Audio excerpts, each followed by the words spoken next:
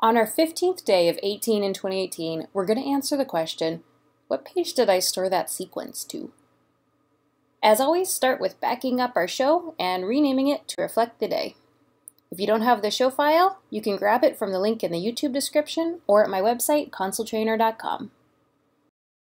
If you take a look at any show file sequence pool, chances are you're going to see some unlabeled sequences and some sequences that aren't even assigned to executors. Perhaps you want to clean the pool up by deleting unused sequences and reorganizing the existing ones. But sometimes you'll run into a sequence in here that has this cyan number, which means it has been stored to an executor somewhere, but you just don't know where. The locate macro is going to answer that. In our macro pool, edit an empty cell. This macro is actually one of the predefined macros, so load predefined and look for locate sequence.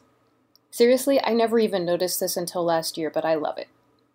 This is one of those macros that looks for user input each time. You can tell by the section in parentheses. Let's try it. Say I want to find where this default example sequence, sequence number 7, is. Touch the macro and input 7. The macro takes you to the page where the sequence lives and even lights up in red saying, here,